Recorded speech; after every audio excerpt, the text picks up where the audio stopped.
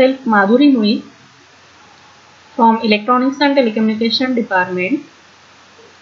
So from the, our EDC subject, chapter number 1 that is junction field effect transistor, we are going to see the next points. So here in previous uh, session we have seen the working principle of JFET. So today we are going to see the input output characteristics of JFET.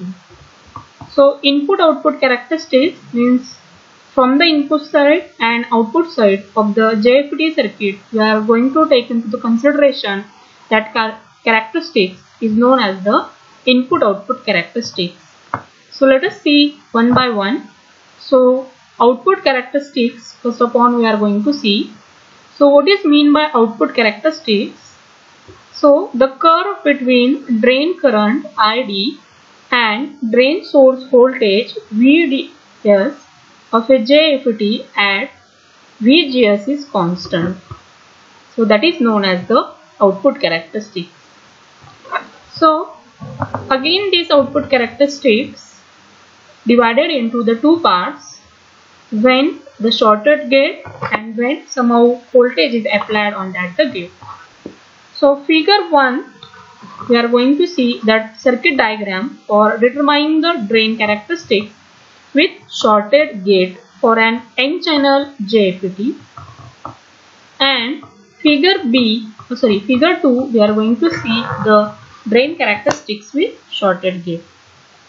So this is our figure A which is shows the circuit diagram of drain characteristics with shorted gate and this plot shows that the characteristics of the n channel JFET when gate is shorted. So this is our experimental setup to see the drain characteristics that is known as output characteristics. So here the uh, gate to source terminals are shorted so it becomes VGS equal to 0 and somehow VDS is applied at the output of the circuit and over this load or this across this load we are going to measure the ID current. So let us see the characteristics. So when drain source voltage VDS is 0 so there is a no attracting potential at the drain. So no current flows in spite of the fact that the channel is fully open. So drain current ID is equal to 0. So for small applied voltage VDS, the N bar, N type bar acts as a simple semiconductor resistor and the drain current increases linearly with the increase in VDS up to the knee point. So this region to the left of the knee point of the curve is called a channel ohmic as in this region the JFET behaves like an ordinary resistor. So in this diagram when the VDS is 0 at that time ID current is 0 when we increase the VDS, the ID current is also going to be increased. And here is the knee point in this graph. And before this, the JFET act as a resistor that area is known as the ohmic region. So with the increase in drain current ID, the ohmic voltage drop between the source and channel region that is reverse bias biases the gate junction. So the reverse biasing of the gate junction is not uniform throughout. So the reverse bias is more at the drain end than at the source end of the channel. So this increase in VDS, the conducting portion of the channel becomes or to constrict more at the drain end. Eventually, a voltage VDS is reached at which the channel is pinched off. So that region is here. That is pinch off point where the drain source is reaches at the ID as the its maximum position. So that point is known as the VP that is pinch off voltage or pinch off point. The drain current ID no longer increases after this pinch off point. So with the increase in VDS, it approaches a constant saturation value. So the value of voltage VDS at which the channel is pinched off, that is, all the free charges from the channel get removed and the drain current ID attains the constant value is called the pinch off voltage Vp. So in a graph, so this is nothing but our saturation region where that VGS is 0, ID is at the maximum level and while increasing VDS there is a no change in a ID current. So ID is the constant. So that region is known as that the saturation region. So in this region, uh, JFET in ohmic region it acts as a resistor and in a saturation region is nothing but the JFET act as a amplifier in this region. So there is a no any free charges from the channel that's why the ID is nothing but the having constant value and that voltage is known as the pinch off voltage. So from point A that is knee point to the point B that is pinch off point the drain current ID increases with the increasing voltage VDS. So following a reverse square law. So the region of characteristics in which drain current ID remains fairly constant is called the pinch off region. So it is also sometimes called the saturation region or amplifier region. So in this region JFET work as a amplifier. So in this region the JFET operates as a constant current device since drain current or we can say output current remains almost constant. So it is the normal operating region of the JFET where it is used as an amplifier.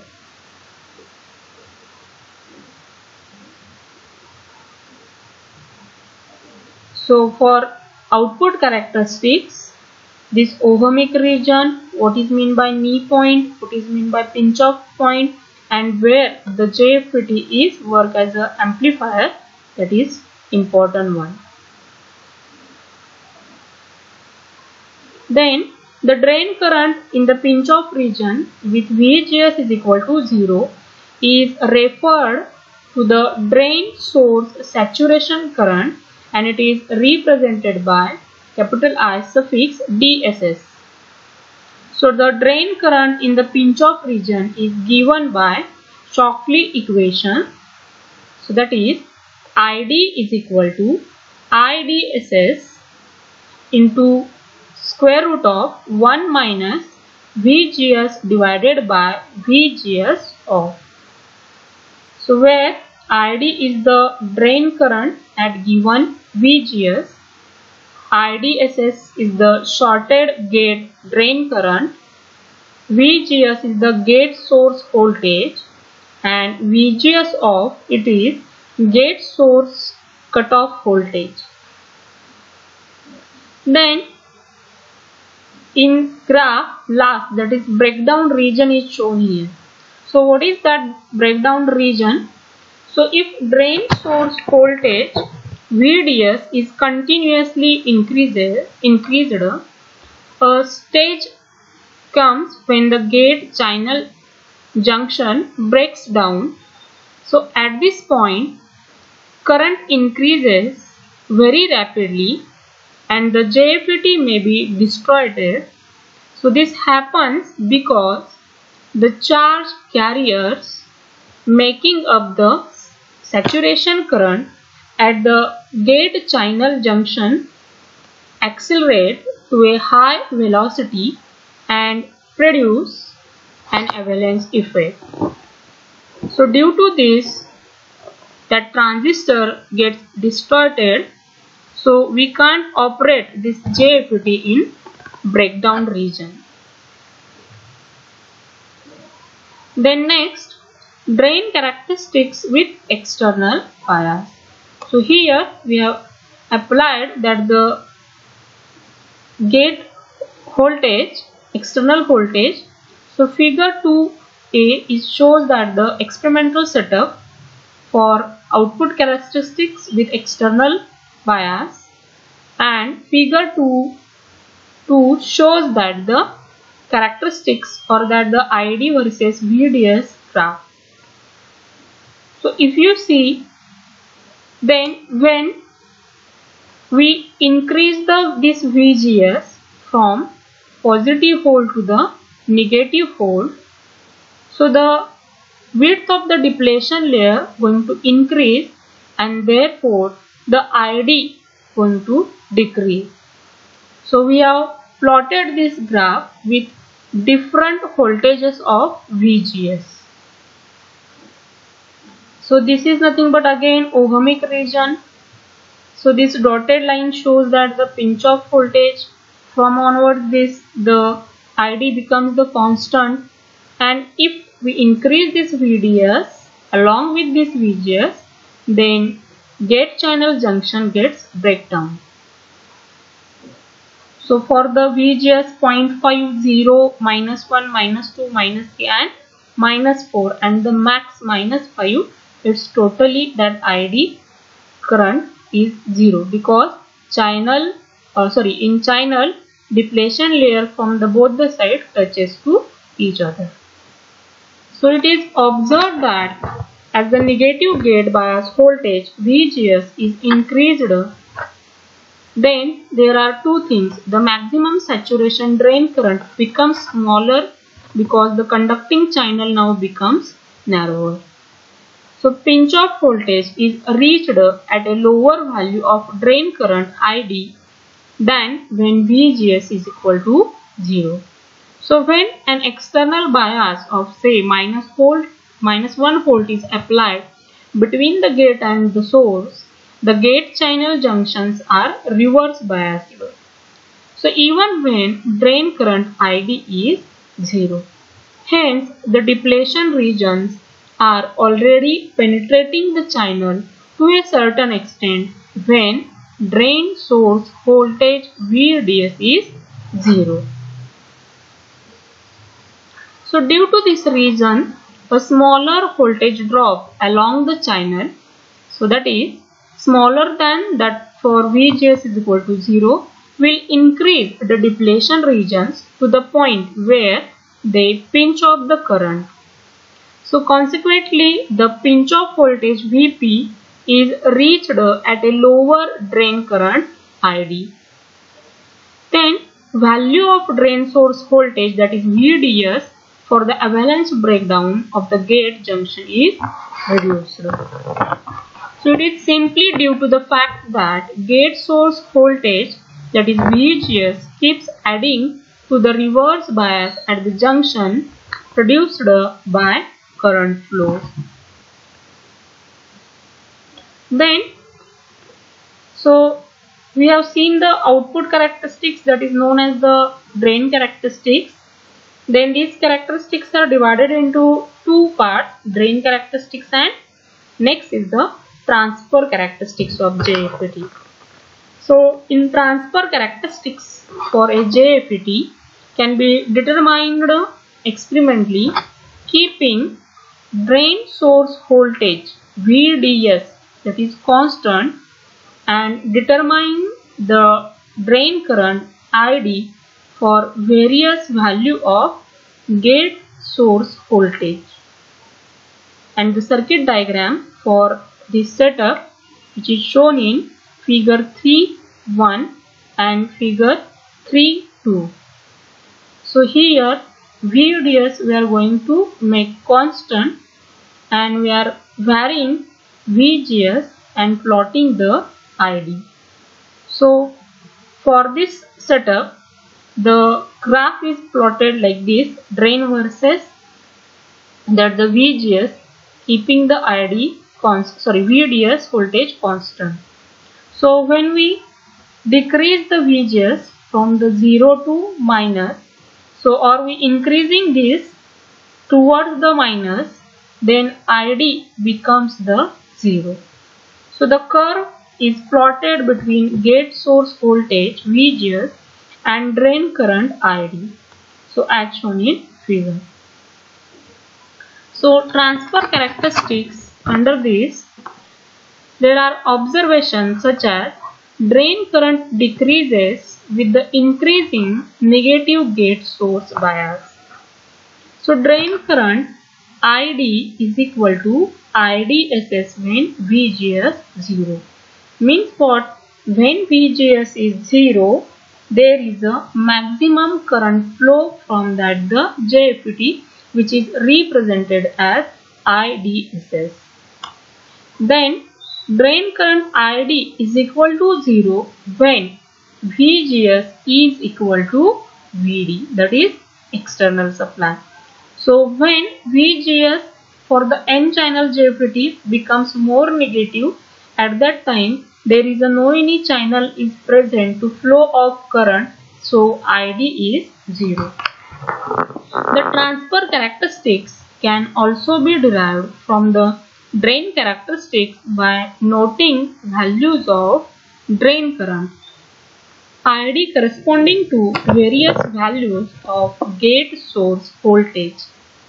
So VGS for a constant drain source voltage and plotting them, then it may be noted that a P channel JFET operates in the same way and have the similar characteristics of N channel JFET except that channel carries sorry channel carriers are holes instead of electrons and the polarities of VGS and VDS are reversed.